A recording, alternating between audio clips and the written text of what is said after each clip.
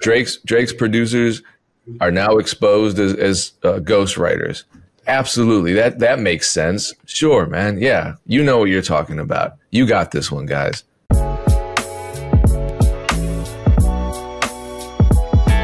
What's going down? It is the At Odds podcast, where the burgers are the juiciest. I, we still don't have a, a tagline, and I know there are some people that have been putting forth effort in dropping some suggestions there was one, I, it had a double entendre I liked. I forgot. It was just, you know, we got to workshop these things. It was a little clunky. It was a little too long. We, we need something short, you know, like at odds. I'm loving it, you know, something like that. Not at all in support of McDonald's. How, how are the two of you feeling today? I'm doing good. We just um, released the full series of the Lesbian Homie, uh, Big Josh's new series. It went really well last night. The total runtime is like four hours because there's 10 episodes and each episode is like 20 something minutes. And there were a lot of people that just watched the whole thing all the way through and it was dope. So i think this is going to be the one. This this this one is is really good. Like this one is going to be the one that i think opens up even more doors. And if and if people don't open up doors we have plans to shoot feature films and things like that but even from a sales perspective we're way past where we were for season two currently. And so the way we typically run it is we have a sponsor that provides some funds. Um, so that's the first kind of step of, of monetization. And then we, when it's done, we go direct to fans. So right now it's not available on YouTube or Facebook. It's just available on moment.co. So you can go to moment.co forward slash big job with two G's and people can purchase it. So that's what they did last night. And that's what people are going to do for another week until we drop the first episode on YouTube next Tuesday. And then we'll drop weekly episodes every Tuesday and what we saw the last time is when we start releasing the episodes on YouTube, that's when the sales really start to drop because we push people over to moment.co to finish the entire series if you would like to. So if you see the first series, I mean, the first episode, and then you would like to watch the entire series, then you can go to moment.co and, and purchase the whole thing. So the direct sales is the second, is the second step of monetization and then YouTube and Facebook. And then, uh, so that's third. And then we'll eventually put it on Tubi as well.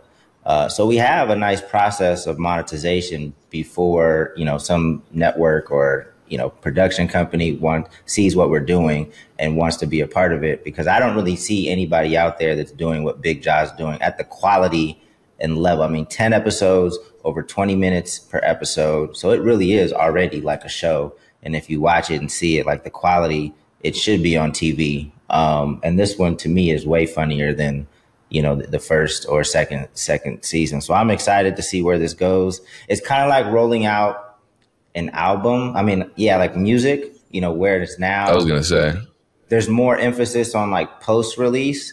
I mean, there definitely was a big build up to this for his audience for sure. But like, I'm more excited once that first episode hits because I feel like once that first episode hits YouTube and Facebook, now it's on because we got hella content to push via Reels um, on his community tab on YouTube. Like we just got a bunch of content to continue to flood people with to let people know that it's available. So it's got me excited again. It's got me excited like I was excited back in the day when I knew like Funk Volume was gonna, you know, be successful. Like I kind of know, I kind of know with this one, you know, it, it's it's gonna turn some heads. Um, and we had a premiere. I know, and I know I'm going long long winded with this, but we had a, a live premiere for it on Sunday night we had over 200 people come out. Taylor Port uh, sponsored it, so we had free drinks. So the the response to the live premiere was dope. You know, we did the little fake red carpet thing because I think that's what's that's what is going to help us get to the next level. Like for for us, we've always just kind of like you know did our thing in house, put it out, interacted with our fans. But I think for TV and film, you got to be a little bit louder about what you're doing here in the city. You got to try to get people in the room, decision makers in the room. So, you know, I, I think that's another reason why I think this is going to be successful. Just so many more people know what we're doing. So they just got to see the product and hopefully, you know, just kind of goes from there. So I, am excited about it. If you don't know what I'm talking about, just go to moment.co forward slash big jaw. And there's a series um, called The Lesbian Homie that is his most popular series and check it out. Let me know what you think. Major congrats, Dean.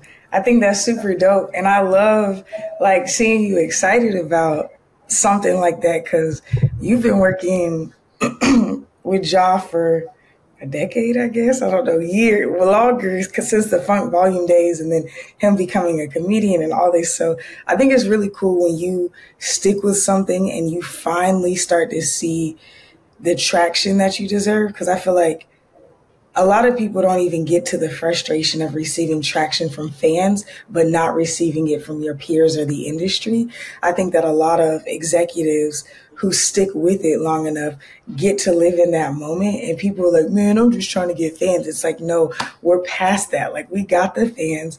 We need the bread. We need the eyes. We need, and to see it all come together is very inspiring and super cool. And I feel like you just gave like a really quick master class on like, a rollout process like super quick. I'm like, damn, that's so fire. And I love Moment. I love what they're doing. There's somebody who came out of the um, the like 2020 blockchain NFT era that to me outlasted and will outlast because what they're offering, you know, so shout out to them. That's super dope. Congrats. I was on a meeting that last week and somebody was like, um, we I was talking to a sponsor and he was like, you know, uh, cause we're we're about to do this rollout with, you know, do you know da da da she's from the lesbian homie. And I'm like, yeah. And uh, he was like, yeah, so she she's she signed on to be one of our influencers. And he was breaking down this deal to me, and I'm like, oh shit, like and this I'm saying this in no disrespectful way. Like I'm saying it to honor her. I was like, oh shit, she's like a major deal in his world because of the brand deal that they struck up. Like he was breaking it down for me. And I'm like, damn, the lesbian homie is really, I was like, yeah, like I know like Dame. And I was like, like, yeah, he manages John. He's one of the producers of the show. Da, da, da. He was like, oh, okay, word. I'm like, damn, there's no love for the back end people. But like, yeah, like I'm just saying lesbian homie is definitely he was just talking about like, oh, cause she does this and she's out here, she's in LA right now, but she's coming to Texas and yada yada yada. So I'm like, it was super cool just to see like I like I'm seeing it pop up in places that have nothing to do with you, but like seeing its real world impact. That's why when you said you could you, you can tell that it's about to like do something, I know that that's not just like sensationalism or you're feeling good rolling off the premiere. I'm seeing it pop up in my world with people completely unrelated to you. So major congrats on that. I know that has to feel good. That's super tight. Nah, it well, it, sounds like the the, uh, the, the best strategy. You've always preached this, Dame, diversity when it comes to marketing. So direct to fan, um, and then streaming services, multiple streaming services, premium models, micro content. Same with music. So if, if you're doing music, yeah, find a way to get uh, your music more directly to fans, merchandise too. But um, if you if you can afford to, don't don't neglect the the streaming platforms, and you can do that for free for three whole months. You can upload as much as you want. Use the code at odds. Lost.com is the distributor for free premium distribution. You can you can put a lot of music up in that time period. Yeah, yeah. We forgot to, to plug Too Lost. The last thing I will say, and just kind of some some learnings from this is some of the ideas we just get from fans. Cause like I was interacting, I was in the chat last night and people would be like, man, it'd be dope if you guys had this. Normally, like back in the day, Ja would always do like a bloopers at the end of every sketch that he puts on YouTube. He stopped, he stopped doing that. But people were like, man, we definitely need the outtakes and the bloopers from this. So that's something that we're going back to the drawing board because we got, you know, terabytes upon terabytes of, of footage and there definitely were some moments. So and then people were like, man, we need to, because the music was put together by my guy Bari. Bari's a really dope um, producer and artist. So he scored it. Uh, so, and they were like, man, we need the soundtrack to this because we didn't put together an actual soundtrack for this one. I did have my guy Will Wildfire like create a custom song that we play heavily throughout the series. Um, but we're going to put together the, the playlist of songs that we used and promote that as well. So we get a lot of ideas from the fans, and the fact that it it goes for ten weeks. I mean, we have a lot of chances to just pivot, do something new. Of course, we have a shitload of stuff like already planned, in terms of reels and going live and you know all these other activations. But you know, listen to the fans sometimes. Sometimes they got some some good ideas um, that you can implement. And because now the focus, I would say, is more post release and kind of you, you have an opportunity to always breathe life into what you're doing or to pivot or just to do some new stuff. So um, you know that that's what we do as, as, I'm interacting with the fans. I'm just listening to see kind of what they want, so we can um, you know execute some of that stuff. Well, speaking of listening to the fans, I, I, don't want to segue. Yeah, I, perfect segue for an amazing topic: the Kendrick Lamar and Drake beef. I um just you know, la- last week I said I didn't want to get into it, and I still don't. But I just want to explain further why. And here's here's a great example of that. So I'm going to share my screen quickly um, because this this happened, and it's not just going to be skewed towards Drake uh, or my loud ass cat. This was posted, and people lost their minds when somebody pulled up the writer's credits for the Push Ups disc record oh my God, it was written not just by A. Graham, whoever that guy is, but also Matthew and Noel. Oh no, Drake's has, he has ghostwriters. Well, one, a ghostwriter wouldn't be credited. Um, and two, all anyone had to do was take these names and Google them. That's it. And you would know that Matthew Samuels is Boy Wonder and, um, Noel is OVO Noel or Noel. I'm I don't know if I'm saying his name right, but he produced "Slime You Out," which is Drake's more recent non Kendrick Lamar related single. But it didn't stop there because somebody, you know, as fans do, someone posted information about Kendrick's music and said, well, he has ghostwriters too. And they posted the writer's credits for the Heart Part Five, which Drake played off of on the Heart Part Six, which is was his last diss track, and it showed that there were multiple songwriters, including Kendrick Lamar, Johnny Kosich, Matt Schaefer, Jake Kosich, Leon Ware, and Arthur Ross. Well, again, all the fuck you had to do was Google that because Johnny and Jake were the producers. Uh, Matt Schaefer oh God, I forgot who Matt Schaefer was.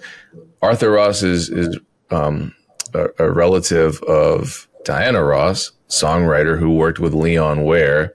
I recognize Leon Ware's name right away. He was a producer and, and songwriter for Marvin Gaye, and um, guess why he's listed there? Oh, because they sampled a Marvin Gaye song.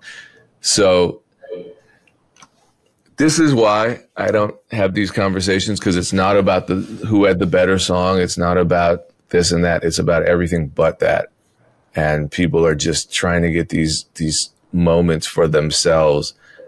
The content creation space is in heaven right now because they can just post some stupid ass shit like this and say, "Oh, um, Drake's ghostwriter's name is Matthew Samuels," and they know not a a high enough percentage of people reading that will be smart or resourceful or even curious enough to Google Matthew Samuels and say, oh, that's Boy Wonder. That's the guy that's been producing for Drake since his career started. Oh, wow. That's crazy. This content is just alarmist and wrong for no reason. I, and I posted it just because I think it's relevant to producers because a lot of producers still don't understand that we are considered songwriters and a bunch of these dumb motherfuckers were in the comments talking about, oh, you just ride in Drake's dick. Fuck Drake. You a bitch. Drake a bitch. Uh, you're just trying to make it clear that, that you're taking sides and that you, you just, you know, acting like, uh, producers can't ghostwrite too. Like, bitch, I, I am, I, you know what? You're right. Forgive me for even trying. Forgive me for even trying. I, that's what the fuck I get. You're right. Drake's Drake's producers are now exposed as, as uh, ghostwriters. Absolutely. That that makes sense. Sure, man. Yeah. You know what you're talking about. You got this one, guys. Yeah. So that's where I'm at with the beef. And then more dumb shit is happening. And yeah, I'm listening. I don't like a lot of the shit that people are saying. And someone was commenting that that um, women are being weaponized in this whole battle. And children are being weaponized in the whole. Yeah. What do you think, Dame? I, I think that it, you know, again, I wasn't, I wasn't excited about it from the jump because I don't even know like what the criteria is for a good disc record. Like, is it who's the best detective? Like, is it, is it who can just say the wildest thing with no proof? I mean, these guys are saying things that ultimately, you know, especially with like Diddy going through what he's going, I'm sure like agencies are on high alert. Oh, he's a let's look into this. Like I, I, just don't know like what is it is it who raps better? Is it the best beat? Is it like I thought it was about the music, you know, and now it's really just about who can uncover the most ridiculous stuff that may or may not be true. Like it's it's just and then it just gives it just gives ammo to all these weird content creators to then like start all of these theories and go do their lives. Like it's it's just spiraled out of control to me.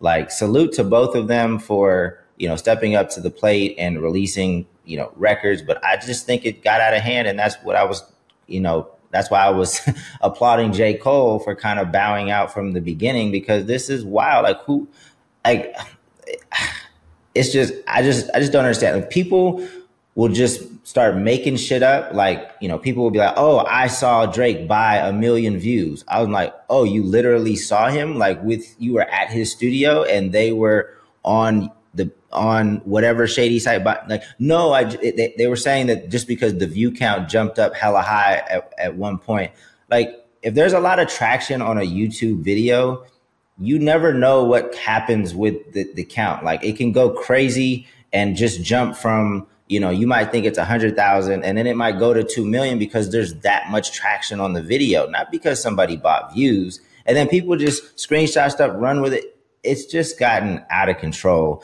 And it's so far removed from what I thought it was going to be about. Like just, you know, who was the best lyricist, who can, you know, beat selection, things like that. I don't even know what we're judging anymore. And I'm worried about these cats actually you know, getting investigated by real agencies because of these. I have no, I don't know these cats. I don't know if Kendrick beats his wife or fiance. I don't know if Drake is a pedophile, but now there's just a, a, different level of heat on the situation because cats wanted to participate in a rap battle. And I, I don't know what we're doing at this point. Sorry, let me quickly revise what I said. Um, Jonathan Kosich, Matt Schaefer, and Jake Kosich are known collectively as Beach Noise. I had to do my Googles as well. So they, Matt Schaefer was a, a co-writer on that Kendrick track because he was a co-producer. And then also rest in peace to um, Arthur Ross.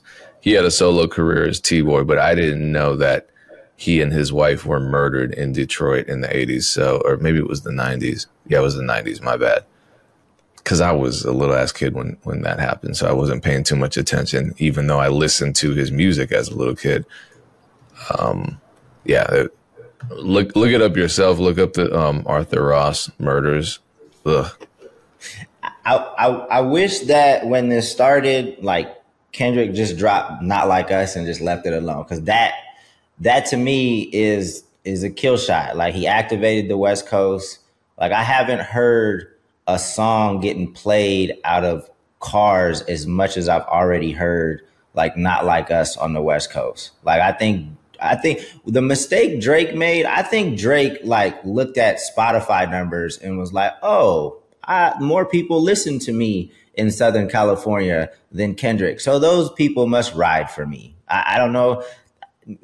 Maybe he didn't do that, but like, you don't want Kendrick to activate the West Coast and like where he's from because these people like it, they're passionate. Like this, it's a different level of fandom than a lot. There are a lot of like passive, you know, Drake fans. You know, he streams hella much. You know, so people be, even come to to his shows or whatever. He might even be able to do more nights consecutively in the Staples Center, but eh, than, than maybe Kendrick Lamar. I, I don't know if that may or may not be true, but I think he made a mistake when or Kendrick, you know, pressed the red button and he made a a, a big record because that's not what Kendrick did what people thought Drake was going to do in terms of make just a huge record that's going to get played for the rest of the, the year at barbecues everywhere. Like Not Like Us is a hit.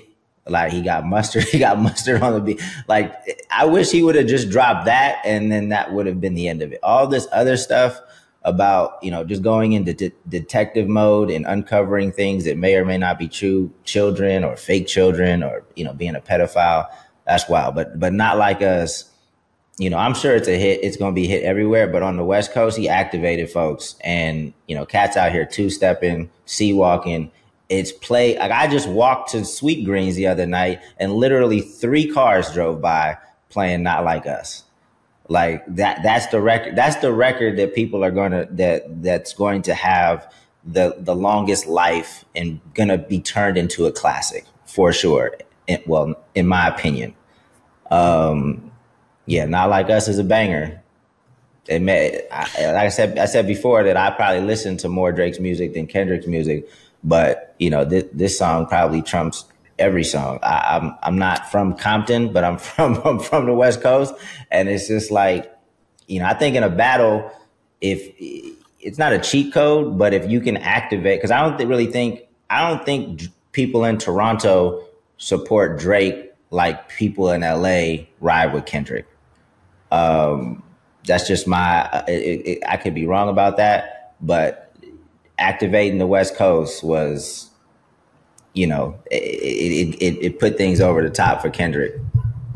It's like um, how 21 Savage has said, and this is like, you know, he's a consistent um, collaborator. And I'm not speaking currently. I don't know where he stands or if there's a side or whatever. But 21 Savage has said in an interview like a long time ago, he was like, the streets is not playing Drake. He was like, if you ask a street dude in Atlanta who the biggest rapper, best rapper alive, whatever, they're going to say Future, you know, because it's like he has so much cultural significance. He's going up, you know what I'm saying? And so it's like, I think it, the way that I see it, you know, because we talked about it last week, and I was like, yeah, if I'm if I'm making a mix or like um like I'm gonna be out with people, Drake is definitely getting airtime. But if we're talking about like me listening to hip hop records, I'm spinning Kendrick Lamar back to back to back. Like if I'm in a hip hop mood, like if we are talking about like preference or whatever. But it's like because Kendrick to me is a hip hop artist and Drake is a pop star who raps, right? And that's not the delineation is meant to be no disrespect. So for me, I agree with you, Dame. It's like folks in California rock with him. I think our folks in uh, Canada rock with him as a cultural icon, the ultimate crossover artist, the biggest to ever do it from Canada, and one of the biggest artists to ever live. That's undeniable. But if we're talking about like hometown glory, like like street connection. And I'm not even talking about no hood shit. Like I'm just talking about like homegrown. We know where you're from. We know your cultural references. We know the language.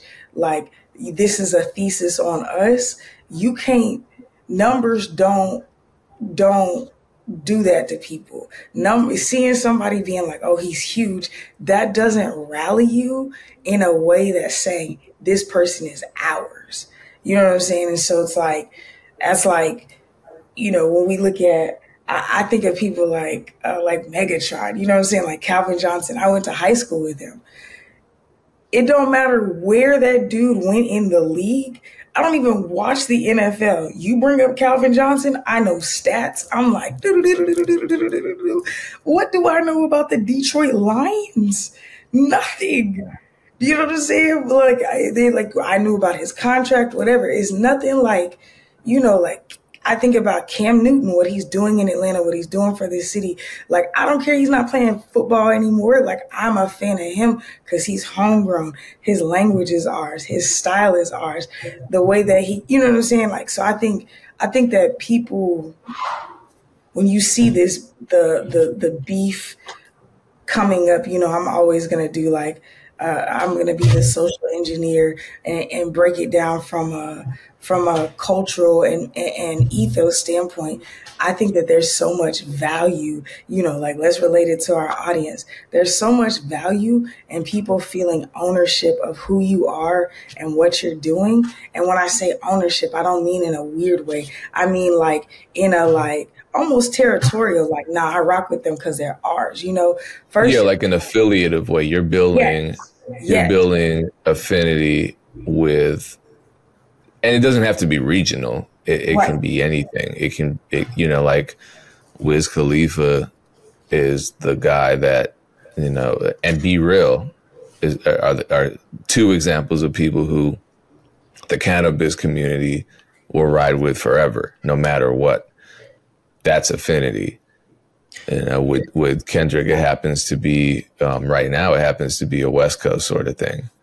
But I don't even I think, think, it's just West Coast. I think because he has his coast on his back, there's way more for others to now gravitate to. Mm-hmm. Like Atlanta people really rock. Well, there's other reasons, but it's like for us, it is really about being homegrown. It's really about being a person of your people and that I like that cultural identity. So even though not like us is definitely like a West Coast stepping thing, folks was like, oh, it's going up in clubs in LA. I'm like, y'all need to check out Atlanta. The strippers, every like I'm talking about it, it, they're playing it in parks at the barbecue. It's it's a cultural moment because it's tied to a regional uh, dialect. It's tied to a regional identity. It's, it's not about, I'm the biggest, I'm the best. He's like, these are my people. I'm rallying my people and everybody can support a war cry. That's why you think about,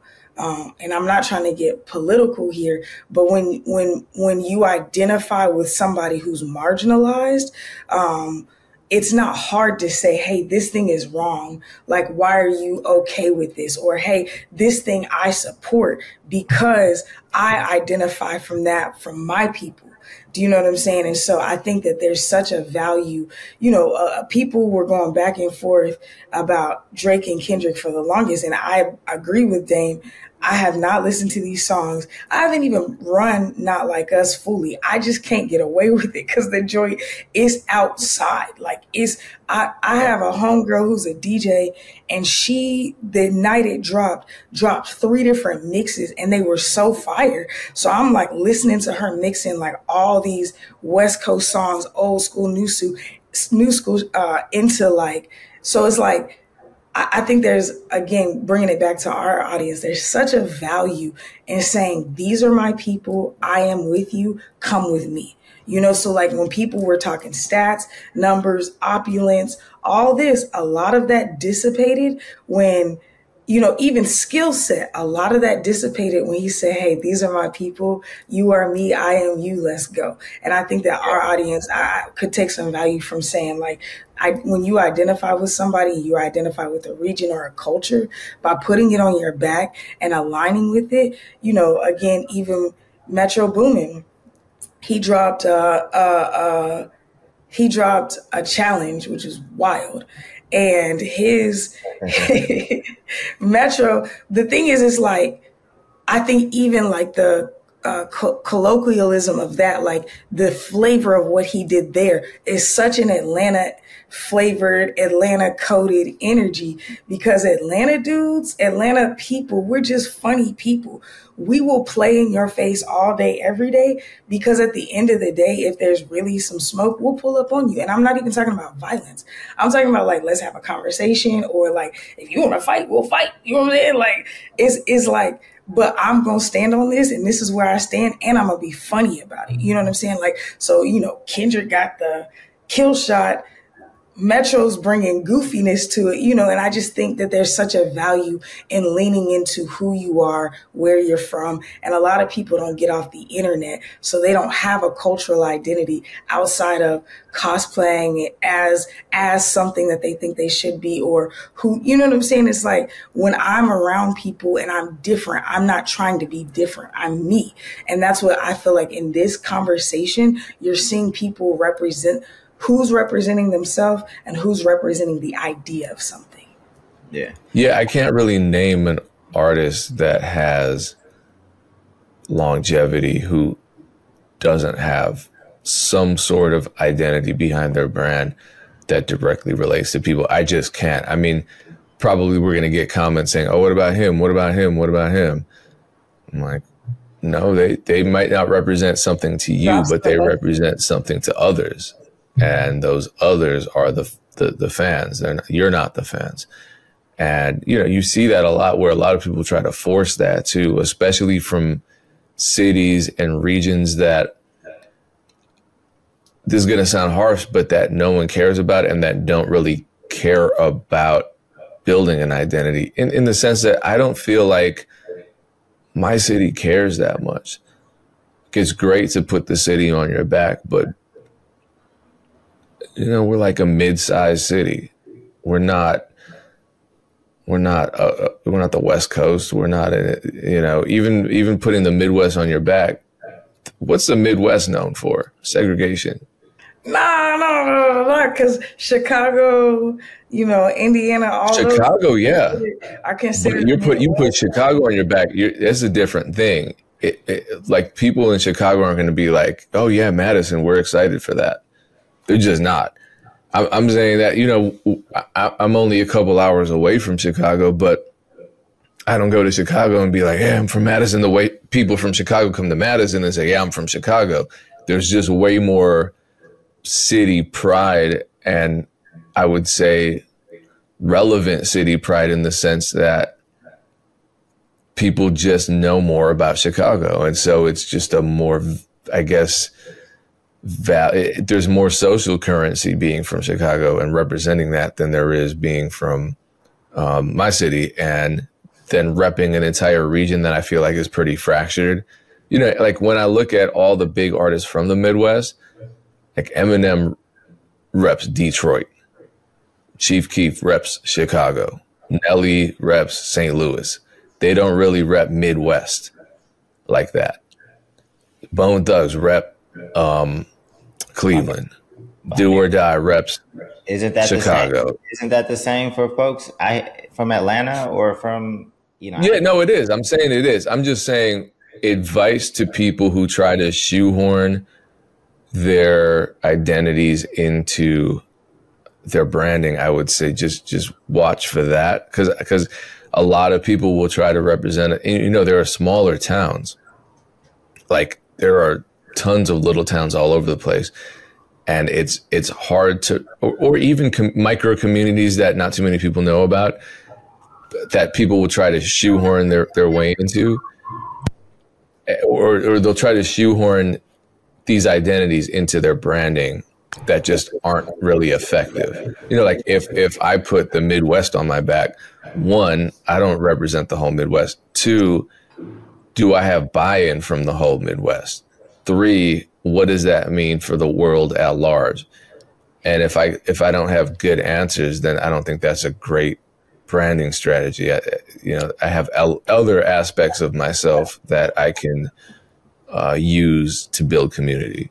I think that regionality can be secondary or tertiary. I, I don't think it has to be your first identity. Like for me, my I, a lot of people's first sweeping take of me is Atlanta, but at its core, your first take of me is going to be like embodied black woman.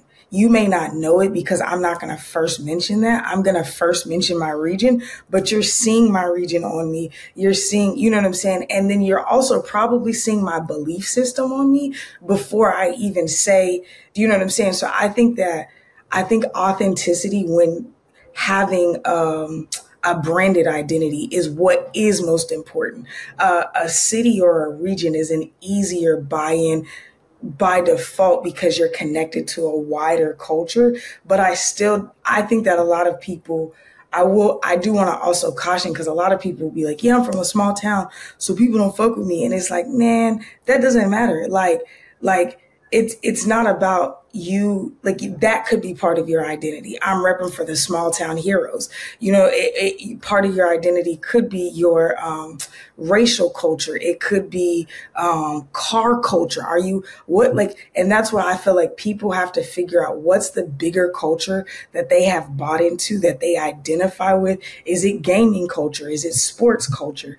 Is it is it hair care? Is it do you have locks? Do you really play bass? Like to me, one of Dame's biggest identities is this dude is the sports dude. When you get on here, though, for this podcast, that's secondary, tertiary, maybe fourth, fifth, sixth thing that you notice about Dame. But if you like really pay attention, he always has uh, an athletic team that you've never heard of. Like they're their paraphernalia on or like some sort of, you know, like, mm-hmm. and then like if you look at his Twitter, then he's talking about all baseball. If you look at his lifestyle, he's playing, he's, you know what I'm saying? But that's not, he doesn't come in the room like, I'm the biggest sports fan ever. Cause it's like, he's authentically himself and that's part of his identity. And he's also like, he, he cares about the indies. He doesn't come on here yelling about, direct a fan, direct a fan. But he just literally boom, boom, boom, boom, quickly broke down. Like he's he's inundated in the culture. And I'm I'm saying I'm breaking down Dame just because like for me, I'm a little bit more pronounced about the things that I do like and identify with. And Dame is more subtle, but it's always all I think all three of us fully integrate into our cultural identities, regardless of the culture that we choose to highlight the most. And I think that's what's missing from a lot of artists.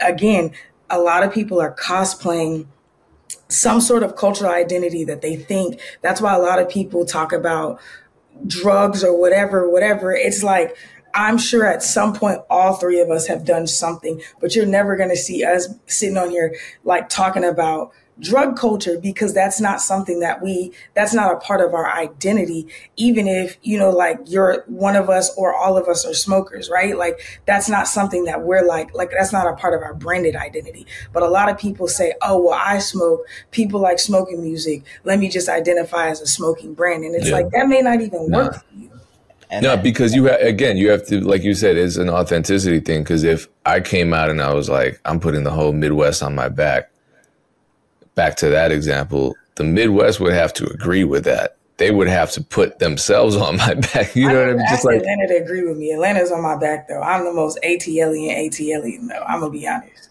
They don't have an option. They were Atlanta rocks with me because I'm an ATLian though. They don't even. That's I'm just saying. Erinn is the exception.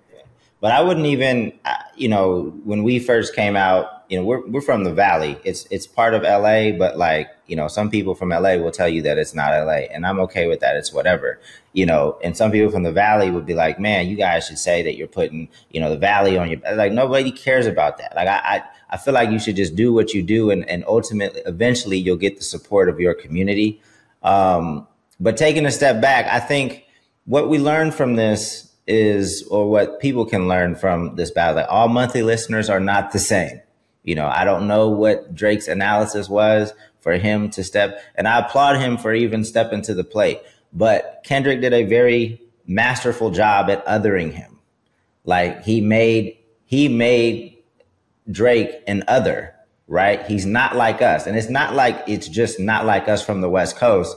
He's not like a, he's not hip hop He's not American. He gave he gave people in the states a, an opportunity to rally against Drake, and I think a lot of people had a lot of people hate on Drake, and maybe they have a good reason to do so. But as soon as you know Kendrick or some of these other big stars started to say something, it starts a wave of momentum for other people to be like, you know what, I didn't like Drake either. Like, and it's just a wave of anti-Drake stuff. So he did a great job at like othering Drake. And now people are having conversations of like whether or not Drake is even hip hop. I'm like, yo, like this is this is this is wild and it spiraled out of control. But I guess I mean that's the nature of the I just don't like the act I just uh, that to me is fair in terms of if you if you're gonna battle like that that kind of stuff is fair. The other stuff that that we talked about in the beginning, like just the accusations and, and illegal, potentially illegal things that now maybe could get investigated. Like do we really want like Drake out? I mean, maybe some people want Drake out of hip hop, but like Drake has been at the top of the game for you know what a, a decade plus. Um, I just hope it stops here. I just hope I just hope it stops here. Did not like us not have like allegations in it too? I feel like again I haven't listened through to most. I literally just know dun dun dun, dun and then I know the hook, you know, because everybody's like like sea walking to it. But I, I that's what I'm saying. Like I feel like that's that song is is playing by the same rules. He just turned it into a bop, which is also like a, a, a, another level of a diss. You know what I'm saying? Like that. I just I again I haven't. I, I'm I'm not. It just doesn't for me uh, connect to me like things like this even though I feel connected to hip hop culture, black culture, I think that this is a different cultural identity that I don't feel connected with. So I haven't heard it, but I thought like he was he was throwing crazy shots in this song too, right? Yeah, nah, yeah, every song. It's it's. I mean, it's a it's a slapper. Like this song is gonna be played played forever. It might end up being because it's slap. Like you know, hit them up and some of these other records they were aggressive, but they, they didn't slap like this song. Like this song is on another level. And then what Metro did, I mean, I think it's worth even you know, maybe even going into more because people may not be f- familiar with what he did as a producer. Because Drake did tell him to shut, like he said he, in a record or something, he told him to, to shut up, sit down, and go make some drums or something. I think he said that. It's right record. after. It was right after like that. So I know yeah. about this because I listened to like that because that what the album was a cultural moment for Atlanta. I just yeah. want to say Atlanta is the epicenter of all of this. Y'all can say what you want. I'm just saying, but. But yeah, he said um, what at the top of it, he was like, "Shut up, shut up, and play them drums" or something like that. Yeah. And so like, there's been a lot of but, trolls yeah. and funny things with that. And then um, yeah, he dropped. Go ahead, you could go into it, Damon. This so is if you are not on Twitter, you should be on Twitter because you're missing a lot of culture if you're not on Twitter. And I'm not. I have some friends that did this already. But so. there's like I haven't listened to none of these songs, and I'm well up on this joint because I'm on Twitter.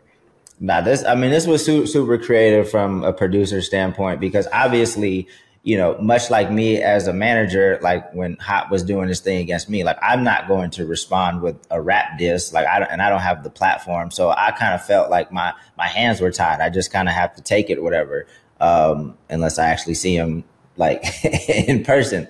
But um, but this the way that that Metro responded was he made an instrumental um, or a beat, and it has in the hook BBL Drizzy, uh, and he released it, and he encouraged artists to rap over it. So now there's probably thousands, ten, there's probably tens of thousands of songs at this point that are floating around with BBL Drizzy as the hook. So I thought that was really dope. And he didn't just encourage people; he incentivized people. he said, "The best artist on this song gets my beat for free. And not just like internet free. He's saying, I will license this to you to release on your own platform, citing Metro Boomin as the producer.